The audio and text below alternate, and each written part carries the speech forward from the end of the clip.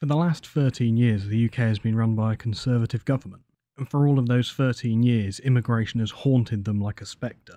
An issue they've always said they've had a handle on and just a moment away from solving, going back to their 2010 manifesto when they stated, Immigration today is too high and needs to be reduced. And then to today, where Braverman's describing small boats as an invasion.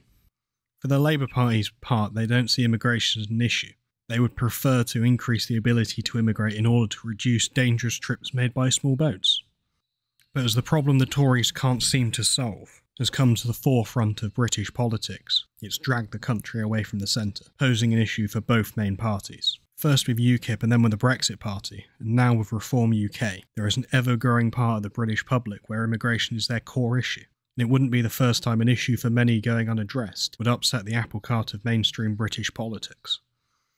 So, where do we go from here?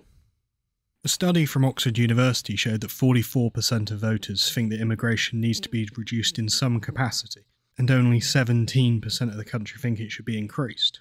And with 40% of the people saying it should stay the same, any party advocating for more immigration seems to be at odds with most of the population.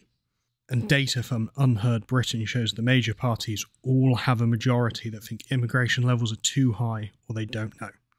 The most common point of contention for immigration activists is to call people that seek to limit immigration racist. And many are.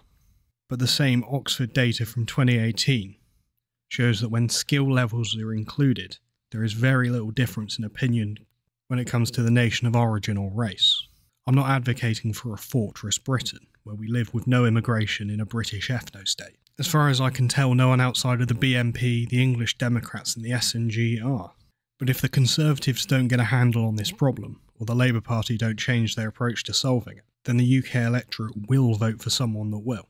For now, that's looking like Reform UK, as they're the only party currently polling above 5% that stated outright they seek to limit the number of immigration, and with the only other party to state it wants to control immigration being the Tories, and the trust in them being at an all time low. The next election may be the last chance for a moderate immigration plan.